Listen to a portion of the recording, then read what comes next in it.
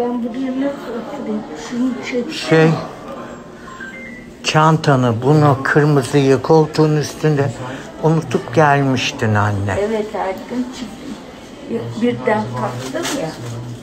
E sonuçta unuttun. Unuttum evet. Unutuyorum.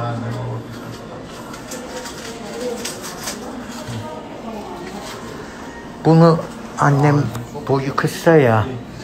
Oturamıyor. İniyor mu bu bu kadar mı? Hasta sandalyesi yok mu?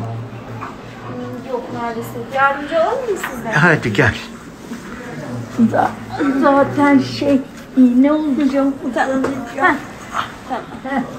Böyle gelin. Bir de böyle. Heh. Uzatın ayağınızı da. Yüzüstü. Heh. Şimdi ters oldu. Tamam. Şelalecim şifa olsun. İnşallah. Yine oğlun yetişti Hızır gibi. Ama kimin aklına geldi ananın? Bak. Pazar Ah. günü açılmaz da adama da bilmem ne bir bahaneler Bak bak etmedin. bak. Aa. Etmedin mi? E Etmedin. pazartesi gidelim dedim. Pazartesi randevu aldın.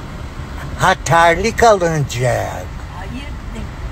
Randevular verdin berbere. Tamam Bodrum'a Ben gideceğiz. Bodrum'a gideceğiz değil mi? Ya Tabii.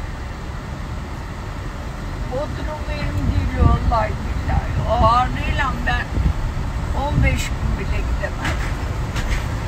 Eğer iğne olmaz. O mühim Ah ah. şey mi? Haklısın anacığım. Hepsi